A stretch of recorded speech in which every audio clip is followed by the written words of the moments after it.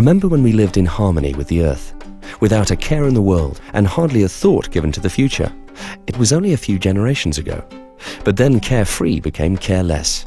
We took more than the earth could give. Now it's clear we have to consider the future. Of course, you knew that already. So the question is, what do we do about it? Well, one of the things we're going to do in South Africa is make better wine, or rather, make wine better.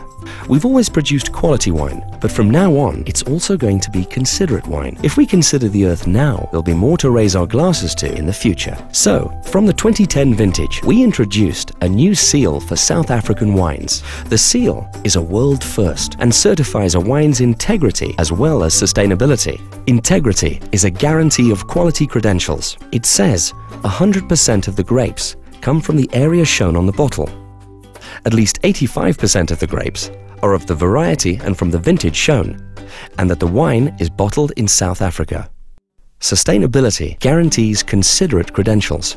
It says the wine meets specific environmental guidelines, first set up in South Africa in 1998 and continually improved since then. To qualify for the sustainability seal, wine producers must ensure the health and safety of their workers, minimize their use of chemicals, and introduce natural predators onto their farms. They must protect the biodiversity of the world's richest floral kingdom. They must clean up wastewater Farms and cellars are independently audited every three years. If they meet the criteria, they can use the new seal. In 2010, around 60% of wine brands used it. In 2011, 85% will. After that, we expect to see it on all South African wines. When you see it, you can use the numbers to trace the grapes from vine to bottle. And you know you're drinking wine that's respected the environment. And while South Africa's new seal will do its bit for a happier, healthier future, in many ways, we're simply going back to the way we used to do things.